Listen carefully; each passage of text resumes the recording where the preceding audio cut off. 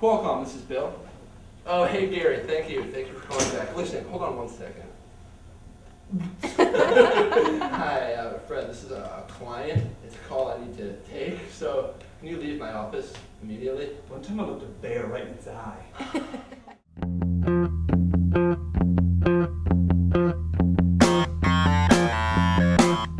We are Cleanest River in America.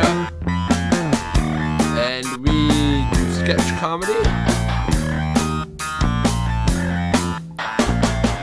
We're famous, contagious. We make outrageous claims. Public From New York. New York City. We're progressive. Shopping bag. Cleanest River in America show. Uh, well, I know that we like to go at a really, you know, fast pace.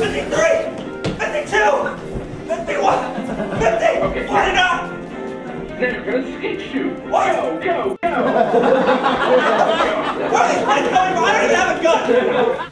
We want you to leave at least going, wow, that was funny, or wow, you guys are weird.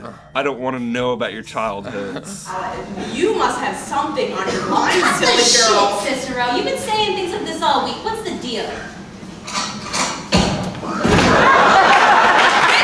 Diabolical characters. That's it, cowboy. You're toast. It's an imaginary gun. Yeah. So's the knife. Oh, fuck you! Some singing, some dancing. Sex offenders love. There's gonna be on stage combat. What else do we do? We cut lawns. We're big lawn cutters. We want people to be like, that was that was original. I've never really seen anything like that. Yeah.